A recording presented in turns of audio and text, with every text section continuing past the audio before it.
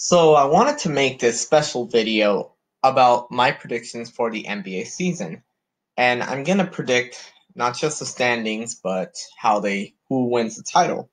And I'm going to explain every pick and why I picked uh, who I picked to win each, you know, spot.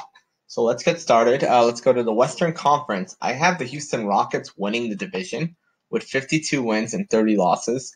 And of course, the Rockets are still the most loaded team in that division they just got Russell Westbrook, so that should help them uh, stay really well in the regular season. Um, whether that translates to the playoffs is another thing. I have the Spurs battling it out with them at the very end. I have the New Orleans uh, Pelicans. New Orleans Pelicans, I think they're going to start slow because Zion Williamson's going to be out for six to eight weeks, last I heard. But I think they're going to get hot and they're going to barely, barely miss the playoffs. And that's going to suck for them because the Pelicans have a lot of promise. They got Williamson, they just got Brandon Ingram, they just got Lonzo Ball, but I think not having Williamson to start season is going to hurt them a lot. The Dallas Mavericks are in rebuilding mode. I think they'll go 30 52. The Memphis Grizzlies are starting rebuilding mode, so it's going to be really tough for them early on, and they're gonna they're gonna suffer a lot this year. In the Northwest, I have the Denver Nuggets beating out the Utah Jazz for the uh, Northwest Division title. So I have them making the playoffs as a four seed. The Jazz will make the playoffs as a five seed. I have the Portland Trailblazers winning 49 games this year. I think they're going to make the playoffs as a seven seed. Um, I think they still have great potential to do good things. Damian Lillard is the rock of that team, but we'll see what they can do in the playoffs. The Minnesota Timberwolves still only have Karl-Anthony Towns, and I think that that's not enough for this team to compete with anyone. Uh, the Oklahoma City Thunder, of course, we know they're rebuilding. Um, they're not going to do much this year, so they're going to finish with 23 wins. And I have the LA Clippers. The LA Clippers winning the Pacific Division with 54 wins. Kawhi Leonard is probably the best addition, along with Paul George. No matter how much I feel about them personally, I think it's a great addition to the Clippers squad. They're going to beat out the Lakers and win the division. The LA Lakers are going to also win 54 games, but they're just going to miss out on the one seed due to a tiebreaker with the Clippers. Uh, LeBron James and Anthony Davis are going to lead that squad back to the playoffs for the first time in six years. I have the Golden State Warriors taking a bit of a dip. They're going to finish 48 and 34, but they're going to make the playoffs as the eighth seed. The Sacramento Kings are going to regress by a game or two. I think they're still a, a ways away from making the playoffs. Uh, they're they're bringing in Luke Walton as their new coach, and that's going to be good. But I don't think it's going to be enough. Luke Walton has not proven that he can coach winners yet. The Phoenix Suns are still in rebuilding. They still have Devin Booker, who's an amazing talent, but otherwise, the Phoenix Suns are just terrible. Here we go. The Eastern Conference. I have the Miami Heat winning the Southeast Division at 47 and 35. But at the same time, I have them as a seventh seed because there's going to be a loaded, a loaded Atlantic division. We'll get to that in a bit. The Miami Heat, um, they're going to have a good time getting things together, and I think that they will win the division. Orlando Magic, I have the Magic winning that, uh, finishing second in the division. And I think the Magic are a great talent, and them making the playoffs last year was no joke. They have some great talent on their squad uh, such as Nikola Vucevic, messing up his name there. Aaron Gordon is amazing, I think the Magic will make the playoffs again. Michael Jordan owns the Charlotte Hornets, and he has not been able to get them over the hump. And they're once again rebuilding. They're going to finish 27 55. The Washington Wizards are a team that's in rebuilding without even realizing it. And I think that they're going to finish they're going to finish 26 and 56. I think they're going to finally hit their downward spiral this year. They just don't have it. Um, Bradley Beal, John Wall, can they both have career years? Can they both get it back? I don't think they can. And I think they're going to finish 26 and 56. They're going to miss the playoffs, obviously. Um, I have the Atlanta Hawks finishing in last place. Um, I think they're an up and coming team. I just don't think that they have the experience to do anything. DeAndre Hunter, Trae Young are great, but beyond that, what else do they have? The Toronto Raptors. So everybody thinks the Raptors are going to fall apart now that Kawhi Leonard is gone. I'm not one of those people. I think the, the Raptors still have enough talent to uh, put up a fight and even win the division. I think they're going to finish as the two seed in their conference. And I think they're going to do some damage uh, in the playoffs as well. I don't think they're I don't think they're quite done yet. And you know, you don't sleep on the Raptors. They're still a very talented team. They still have Kyle, Kyle Lowry. They still have Fred VanVleet. They're Serge Ibaka. They have a lot of good talent there. So you got to be, don't sleep on them. The Philadelphia 76ers, I have them finishing second. Joel Embiid is amazing. He's a great talent. Uh, you have uh, Joel Embiid and you have uh, Matisse. Uh, you have Jimmy Butler now on the team. So you have a lot of actually, excuse me, no, Tobias Harris is on the team, Ben Simmons. So the Sixers have a lot of a uh, lot of good things coming for them. The Miami Heat have Jimmy Butler. That's a correction in case anyone says it in the video. The Boston Celtics, they just they just continue to do well. They have Kemba Walker, they have Jayson Tatum, Marcus Smart, Jaylen Brown, Gordon Hayward. Um, people sleep on them sometimes, but I think the Celtics can make a good run they're going to finish in fourth place. Um, like I said, I think this division is really loaded, and the Celtics for the Celtics to finish third in this division means it's a really good division. So I think the Atlantic is going to be one of the best divisions in the NBA. So the Brooklyn Nets signed Kyle, uh, excuse me, Kevin Durant and Kyrie Irving. Durant's not playing this year, but Kyrie Irving is. And this is a testament to how good Kyrie Irving is that I believe he can carry an entire team by himself, along with help from Joe Harris and DeAndre Jordan. And I think the Nets have the talent to finish 49 and 33 and make the playoffs. I think the Nets will do good things this year. I don't think they're going to win a title, obviously, but I think that they can carry themselves. The Knicks are trash right now. They're rebuilding. They're not anywhere close to being a contender. They totally lost out on the free agency, and it's going to show. The Greek Freak is going to lead the Milwaukee Bucks back to the one seed in the East, and I there's not much to say. The Bucks are just a well-oiled machine. It goes right through the Greek Freak, and they just they play very well. I think they're going to be a threat again. The Indiana Pacers, I have them finishing second. Victor Oladipo is going to be back. Uh, he's going to um, pull himself and his team up.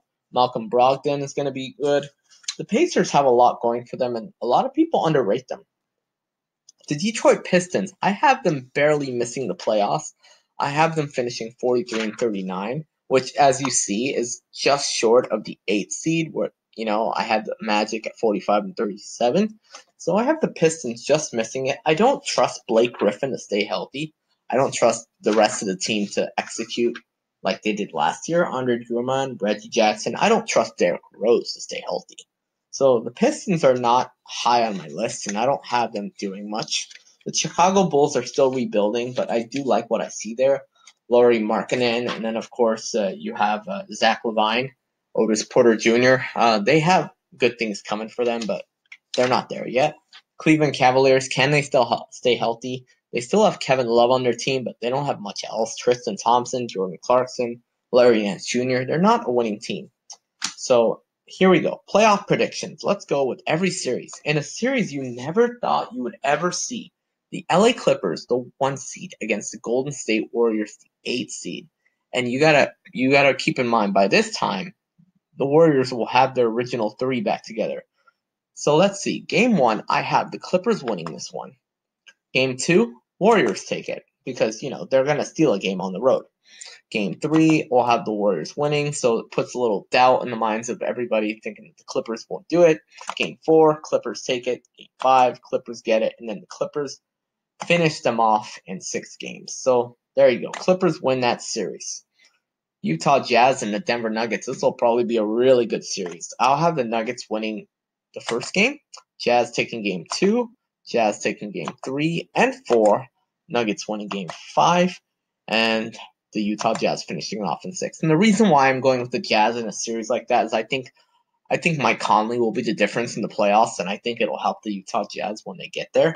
And I think I don't I'm not as high on the Nuggets as others are. Houston Rockets, here we go. James Harden, Russell Westbrook against the San Antonio Spurs. I have the Rockets winning the first two games. I have the Spurs winning game three, I have the Rockets winning game four, and I have the Rockets winning game five. So you see how I feel about the Rockets and their abilities against the Spurs. The Spurs will probably put up a little bit of a fight, but I think the Rockets are the better team right now, even with all their departures and their age. LA Lakers and the Portland Trailblazers is probably one of my best, most favorite playoff series in the past. I have the Lakers winning the first two games at home, just like Shaq and Kobe did. I have the Blazers taking games three and four. Damian Lillard will show the fight that he's always shown. I have the Lakers taking game five. I have the Blazers pulling it off in game six before the Lakers finish them off in game seven. I have the Lakers edging them out four games to three. So that's that's going to be a great series. Here we go. Eastern Conference. I have the Bucks winning all four games. I think the Greek Freak is going to be even more motivated after last year to help the Bucks get to where they need to be, and I think it's going to hurt everybody else. The Boston Celtics, I have them winning game one, two, three, and Nets steal game four, and then the Celtics finish them off in five games. And this is, I think the Celtics are really talented and that they're going to be one of the better teams in the East. And that's the Nets are just going to run out of run out of gas at the end. Uh, the Philadelphia Sixers, Joel Embiid is going to lead the Sixers on his back, and I think they're going to take the first two games of that series. Pacers will win game three and four, and then Embiid will just say, "I'm done with this," and lead the Sixers to a six-game series. Toronto Raptors and the Miami Heat. I have the Raptors winning game one, two, losing game three, but winning the rest of the series. So by this point, you have you have an idea of how I think the talent in the NBA will go. And the conference semifinals, I have the Clippers winning game one, losing game two, losing game three, winning game four, winning game five, losing game six, and then finishing off the Jazz in game seven. So the Clippers will make it to their first ever Western Conference final. And yeah, that's amazing. I have the Lakers winning game one of their series, taking game two. I have them losing game three, losing game four, winning game five, and then finishing off the Rockets in game six. So you see how I think that the Lakers have surpassed the Rockets in terms of talent. In terms of ability, I think the Lakers are going to pass, the Rockets are going to pass the crown. LeBron James is going to make a deep run in the playoffs this year. I have the Greek Freak losing the first game to the Celtics before winning game two, winning game three, four, finishing them off in five. So the Bucks are going to make it back to the Eastern Conference Finals again behind the Greek Freak. And here we go, the series the rematch from last year, Sixers Raptors. But this time, I have the Sixers winning game one, the Raptors winning game two, Sixers game three, game four, Raptors game five, and the Sixers finishing off in six. And the reason why I have the Sixers winning this year is because I think that last year's loss is going to push them to the limit and that they're going to be more motivated to finally make it to the Eastern Conference Finals and that's going to be what ends up ending the Toronto Raptors' reign as NBA champions. In the conference finals, I have Greek Freak winning game one, game two, Sixers winning game three and four. The reason why I'm having the Sixers win all these home games, I think they're going to feed off their home court. But I think the Greek Freak is going to do enough to win the series in six games. Um, for the Lakers and Clippers, I have the Lakers taking game one Clippers taking game two. And the reason why that's because there really isn't no home court. And this would be the first Laker Clippers series ever in the playoffs. So what a showdown it would be. I have the Clippers winning game three before the Lakers go, get hot and win the series in six games. So my NBA Finals prediction is Lakers versus Bucks. I have Kawhi Leonard losing in six games to LeBron James and Anthony Davis. And in the NBA Finals, I have a matchup of epic proportion. Lakers, Bucks. I have the Bucks winning game one, winning game two, the Lakers winning game three and four, but the Bucks will ultimately finish off the Lakers in six games. So my NBA champions are the Milwaukee Bucks. Do you agree with my predictions? Do you think the Milwaukee Bucks will win the NBA Finals? Do you think the Lakers or the Clippers or any other team will win the NBA Finals? Let me know in the prediction predictions. Like, share, and subscribe.